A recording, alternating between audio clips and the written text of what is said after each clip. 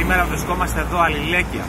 Στηρίζουμε τον συνάδελφο που πωλήθηκε άδεια, άδικα, εκδικητικά, εντελώς παράνομα και καταχρηστικά από την εταιρεία της Lidl, γιατί αποκόμισε πρόβλημα στη μέση. Είναι προκλητική η στάση της εργοδοσίας που από το πρωί έχει καλέσει εδώ πέρα την αστυνομία για να επιτηρήσει ουσιαστικά τους ίδιους τους συναδέλφους, οι οποίοι στηρίζουν εκείνα αλληλέγγυοι στον ίδιο τους συνάδελφο. Καταγγέλνουμε αυτή τη στάση της εταιρείας, τους συζητάμε τώρα εδώ να αποχωρήσουν δεν έχουν καμία θέση σε κινητοποίηση εργαζόμενων οι αστυνομικές δυνάμει.